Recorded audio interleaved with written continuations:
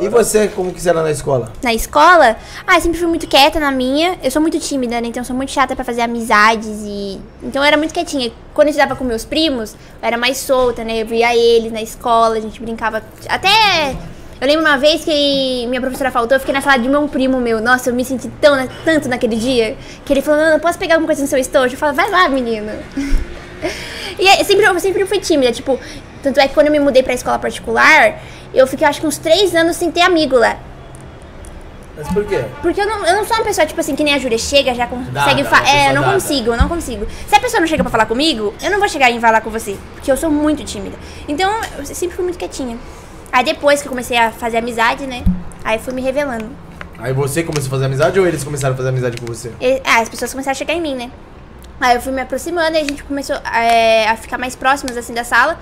Acho que eu estudei lá do quinto ano até o primeiro do ensino médio. Aí do nono, mais ou menos, até o primeiro que eu consegui ficar mais solta. E hoje é soltinha. Hum? Hoje tá soltinha. Sim, então a gente tá junto, Hoje né? tá mais tranquilo. Tá comigo, tá com Deus. Ela, ela já sabe. Não, né, não, mas na escola agora tá Ela legal, sabe. porque a gente tá no mesmo horário, a gente brinca. Você tá comigo? Óbvio que tá legal. Humildade. Às vezes a Júlia paga um lanche pra mim, é muito tranquilo, muito legal. Quem paga o lanche, a Júlia? Eu também pago às vezes, né? A gente reveza uns dias assim. Ah, que bom, um fazendo pelo outro, né? É. É. Isso é bom. E, Júlia, você começou a gravar os vídeos quando? Eu e ela, a gente, desde pequenininha, a gente inventava de gravar. Desde pequenininha. Eu tinha um vídeo que eu queria muito achar esse vídeo. Eu passando creme no rosto. E Da outro, eu pintando a unha, mostrando meus esmalte. Daí eu fui inventar de falar que a acetona, o nome da acetona era acetona porque era muito difícil falar removedor. Falava, olha, as- a acetona tem nome de acetona porque as pessoas, ai, ficar removedor, removedor, removedor. Eu lembro até hoje.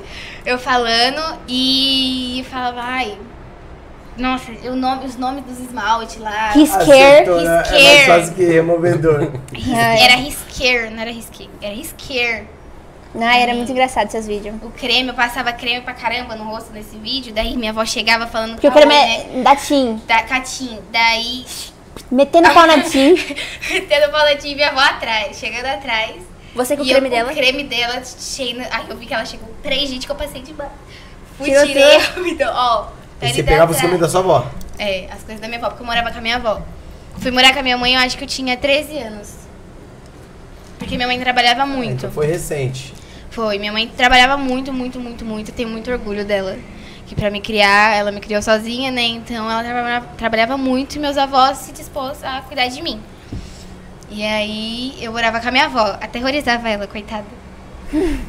Era só eu A e ela, né? gente. Depois que meu. É, a gente.